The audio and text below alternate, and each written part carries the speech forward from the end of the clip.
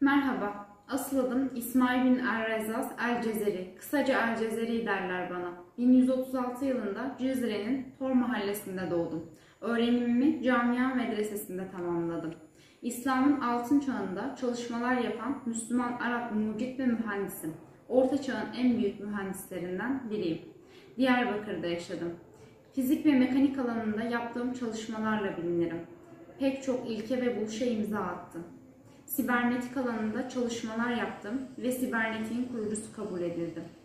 Robotik alanda yaptığım çalışmalarla insanları kendime hayran bıraktım. Otomat yapım sanatı benimle zirveye ulaştı. Ben makineleri genellikle teorik hesaplama yoluyla değil, deneme yanılma yoluyla ortaya çıkardım. Artuklu Sarayı'nda baş mühendislik yaptım. Ardından Musul Zengi Hanedanı'na ve Eyyubi Devleti Sultanı Selahaddin Eyyubi'ye hizmet ettim. Tatbikata çevrilmeyen her teknik ilim doğru ile yanlış arasında kalacağından El Camiul Beynel İlmi ve El Ameli En Nafi Fi Sinaetil Hiyel yani makine yapımında yararlı bilgiler ve uygulamalar adlı eserimde 50'den fazla aletin kullanım esaslarını ve bu aletlerden nasıl yararlanabileceğinizi renkli çizimlerimle anlattım.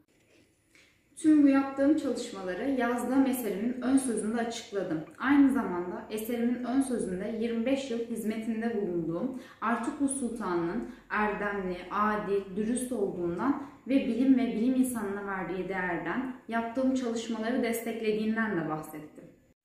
Önceki bilim insanlarının çalışmalarını ve icatlarını inceledim. Bunlar olağanüstü çalışmalardı.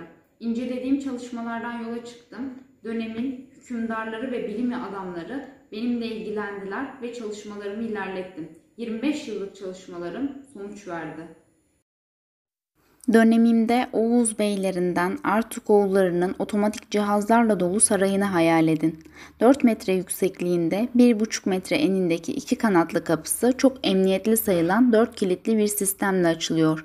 Sultanın verdiği ziyafette konuklara şerbetleri robotlar ikram ediyor. Etrafta oyuncak otomatlarla eğlenenlerin kahkahaları duyuluyor. Ortadaki havuzda otomatik yüzen kayıklar ve kayıkların üzerinde hareket eden müzisyenler yer alıyor. Bir köşede ise ellerini yıkamak ya da abdest almak isteyen konuklara bir robot su döküyor ve sonra da kurulanmaları için havlu uzatıyor. İşte tüm bunları ben yaptım.